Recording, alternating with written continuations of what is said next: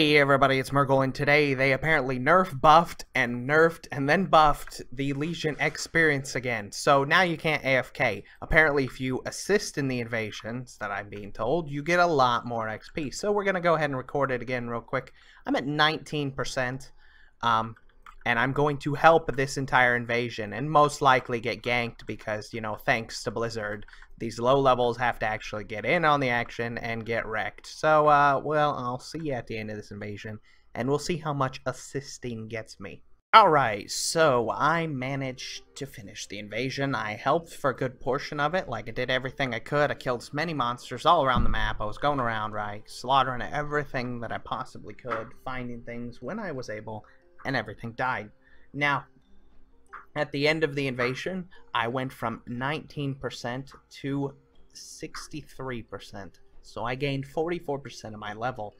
Um, I gained the majority of this XP during Phase 3 when I was going around killing stuff. Now, I think my rested boosted the amount of XP I was getting because a single monster in Phase 3 was giving me anywhere from 2k all the way up to 14k off a single monster kill. So you do have to participate. And again, most of the XP will come from phase three. I didn't notice any noticeable huge amounts between phase one and phase two. I was killing monsters in phase one and they were given a decent amount, but not nearly anywhere that phase three was giving.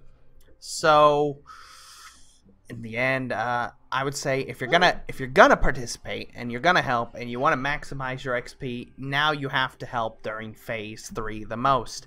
And in the course of phase 3, I got ganked seven times. So I'm sure if you're on a normal server where you aren't always flagged for PvP, you'll have it a little safer. Because the way PvP servers work, if you're in a neutral zone, it doesn't matter if you have it off. Disable. You're always flagged. So you get murdered. And uh, yeah, I did get ganked seven times in the course of Phase 3 trying to kill monsters. So if you were on a normal server, you could kill way more monsters and probably get tons of XP because I don't I don't know if this was the way it worked, but it seemed like every monster I killed, the next monster was giving me double XP.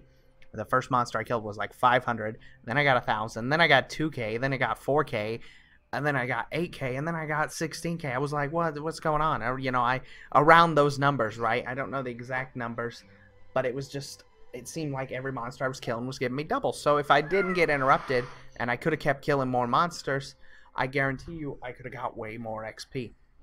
Anyways, thank you all for watching. Sorry they've broken the AFK. It was nice while it lasted. But anyways, I will see you again soon. Bye-bye!